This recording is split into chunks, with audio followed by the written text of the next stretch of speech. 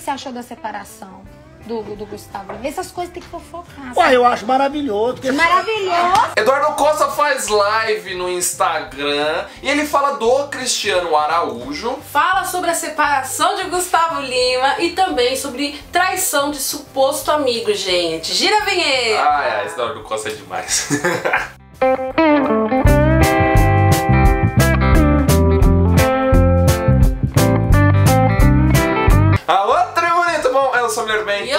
Juliana. Você está aqui no canal TV, meu sertanejo, canal mais sertanejo do Brasil. Bom, já vai deixando o dedo no like aí no canal, vamos atingir 3 mil likes. Eduardo Costa, eu sei que vocês gostam de vídeos do Eduardo, a gente que posta vídeos diários aqui de notícias do mundo sertanejo, análise de disco, compositor e tudo mais. Já vai se inscrevendo no canal aí para receber vídeos novos. É isso aí, gente. Também se inscreva lá no canal do Tem Base, nosso canal de podcast. Aposto que vocês vão gostar muito do conteúdo que tem lá. Bom, turma, o Eduardo Costa ele fez uma live com a irmã dele, que é a Sara Costa. E todas as lives do Eduardo Costa é muito legal no Instagram, né? Porque ele, ele sempre viaja, ele sempre fala coisas muito interessantes, ele fala muita coisa importante e coisas que normalmente artistas não comentam. É verdade, gente. Essa reverência do Eduardo Costa, né, já resultou muitas matérias, muitos vídeos aqui no canal, por isso que a gente decidiu fazer mais um, comentando aí sobre alguns pontos que ele falou com a irmã dele, a Sara, que também ela gosta do, do- da polêmica, né? Do Ela, a Sara ela é muito engraçada ela também. fica ali armando as redes pra ele cair, pra ele falar, que sabe que ele fala mesmo, aí ela vai puxando dele. Bom, é, vamos começar aqui pela parte com o Eduardo Costa. Ele fala sobre o momento da música sertaneja e sobre o sertanejo universitário e quem é que ele gosta do sertanejo universitário. Pegou muito, e que também é uma música muito boa, Sertanejo que é o sertanejo universitário. Você nunca foi pro lado do universitário. Não. Porque não é o seu estilo Não, mesmo. Você não. gosta ah, de ouvir alguns, mas É, eu, eu acho que toda música é válida. Eu acho que, assim, não existe música ruim, existe momento. um universitário que você gosta. Então, eu, eu, nunca- eu nunca fui muito de universitário, não é uma coisa que me agrada. Mas, por exemplo, desses cantores todos, eu, eu sempre, eu gosto muito do, do... Eu gostava muito do Cristiano Araújo, que era Que de um... chegou a fazer E não foi uma- porque ele faleceu, Aham. eu tive a oportunidade de... Porque assim, é, eu não tô falando do Cristiano Araújo, eu, eu provei que eu amava ele quando eu convidei ele para participar do meu DVD gravado em São Paulo, lá na Brooks. Então, por exemplo, a mim chamar um artista para participar de um DVD meu, não eu participar do dele, mas ele participar do meu, porque ir participar do DVD de alguém, eu posso ir por cordialidade, posso estar lá para poder, né, é, fazer um- uma boa ação, tudo. mas quando eu chamo algum artista para participar do meu DVD, significa que eu sou muito fã desse artista. Então, o Cristiano Araújo, eu convidei ele para participar daquele DVD do. Foi gravado em São Paulo, na Brooks. E ele era boa pessoa, né? Um cara maravilhoso, era muito meu amigo, assim. A gente era muito amigo. Muito simples. Isso, muito simples. Agora, Pois é, gente, Eduardo Costa mais uma vez citou Cristiano Araújo como um dos seus preferidos, né, aí do sertanejo universitário. O Eduardo Costa, que é um cantor de sertanejo raiz, né, considerado sertanejo Aquele raiz. clássico ali, né? É, o sertanejo clássico é um dos principais nomes aí do sertanejo raiz no, no momento do mercado. E ele cita aí o amor que ele tem pelo Cristiano Araújo, não apenas pelo porque o Cristiano ele é falecido, mas sim porque ele já admirava muito o trabalho do Cristiano, independente de qualquer coisa.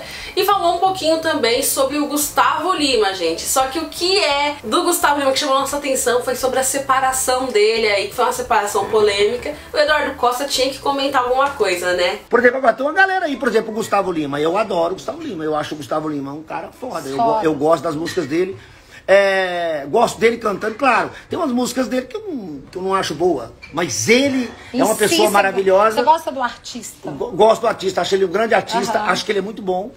Tem música que eu gosto, tem músicas que eu não gosto, mas ele é um grande artista. É, o Zé Neto, o. Zé Neto que... Ah, só, peraí. O que, que você achou da separação do, do Gustavo? Essas coisas tem que fofocar. Ué, eu acho maravilhoso, porque, Maravilhosa! porque assim, é mais uma mulher maravilhosa, solta. Ah, gente, queria tanto que eles voltassem. Achei um casal tão lindo, família, os meninos bonitos demais. Então, aqueles meninos lá, é, os meninos bonitos, a gente até adota se for preciso, né? Oi, meu Deus, vamos Não, mudar. eu tô brincando, eu, eu acho que o Gustavo Lima e a esposa dele é uma pena Você separar. sabe que vai ter uma nota amanhã, né? Eduardo Costa. Não, não, vai Não, ter vai não, ter porque não. todo mundo sabe que eu tô brincando, que eu não vou perder, eu vou perco o amigo, mas não perco a piada. Eu acho que É, a gente acha os casais mais bonitos do mundo, mas é, só, a gente, é. só a gente sabe, sabe, a realidade deles. Os né? bastidores é, é, outra coisa. Lá em casa, todo mundo, ai, que casal que bonito. Lindo. Mas quando chega em casa, a só conversa é outra.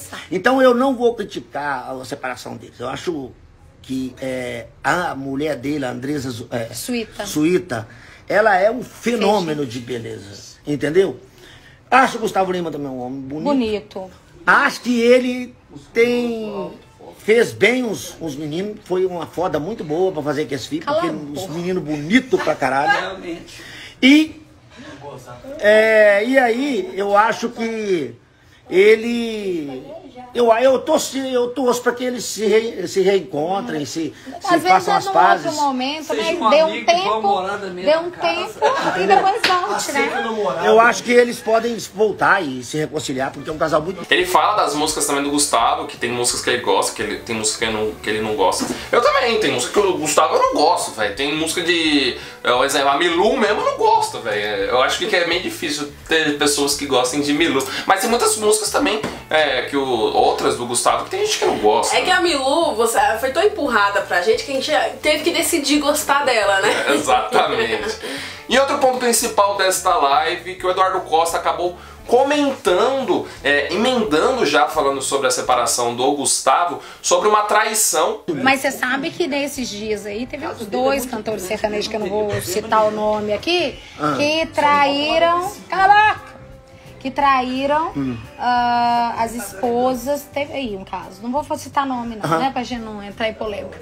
Mas teve uns dois sertanejos aí que hum. traíram a esposa com a melhor amiga dela. O que, que você acha de uma postura dessa? Então, eu. eu, eu... Claro que cada caso é um caso, não claro. estão aqui pra julgar ninguém, é só opinião mesmo. Então, eu, eu, eu, eu Eduardo, eu acho que num caso desse, num caso desse, é muita falta de respeito do cara, beleza. Porque eu já traí também.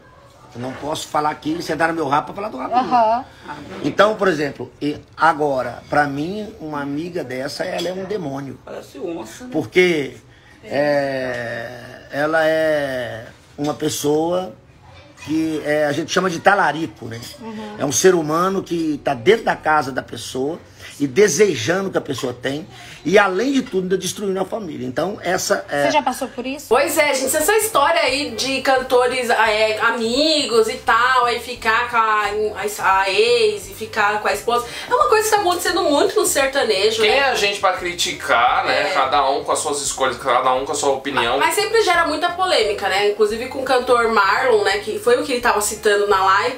Teve muita polêmica, até hoje a Record coloca matéria sobre isso e tudo mais. Então tem que tomar um pouquinho mais de cuidado para não ter aquela, aquela publicidade negativa com o nome do, do, do cantor, né? Ou da dupla. E aí, turma, o que, que vocês acharam aí desses trechos do Eduardo Costa. Eduardo Costa, a gente espera ele lá no Tem Base. Imagina um dia o Eduardo Costa não tem base, rapaz. Aceita nós, Eduardo o Costa. O trem vai render. Ele já falou já que vai gravar com a gente.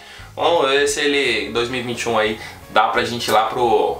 Tem. Pra Minas Gerais gravar o Tem Base. E aí, turma, o que vocês acharam? Deixa o dedo no like, comenta aí abaixo. Eduardo Costa, como sempre, excelente, pontual, muitas opiniões sinceras. Isso que eu gosto do Eduardo Costa. Parabéns, Eduardo.